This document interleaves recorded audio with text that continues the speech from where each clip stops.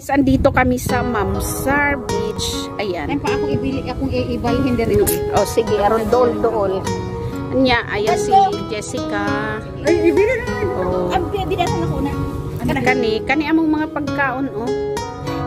This is our food, guys.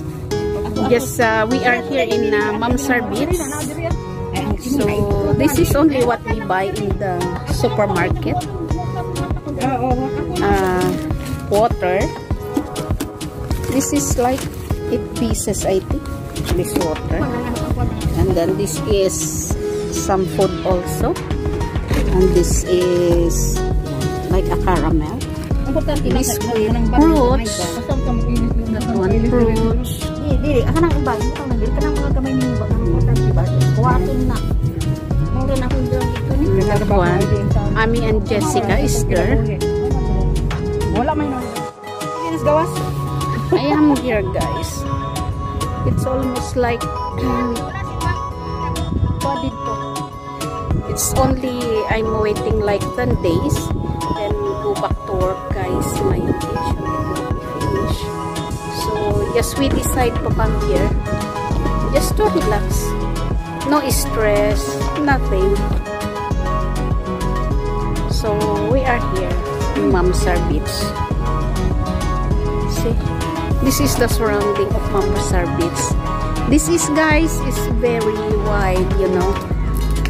See?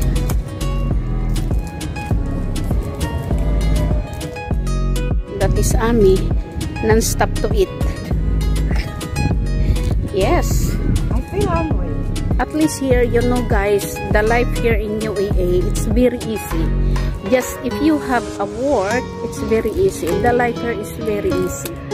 But, it depends to the lifestyle that you want.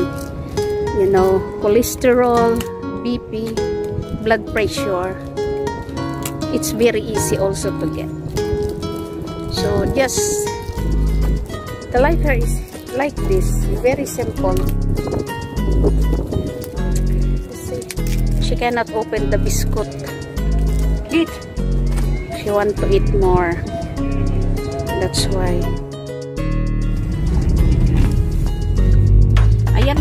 Pauwi na kami pero pupunta pa kami ng palengke. Ayan, waterfront. Ayan, ayun si Jessica, nakatagilid. Ayan. Galing kami sa... Galing kami ko dito sa dagat. So, pauwi na kami. Ayan.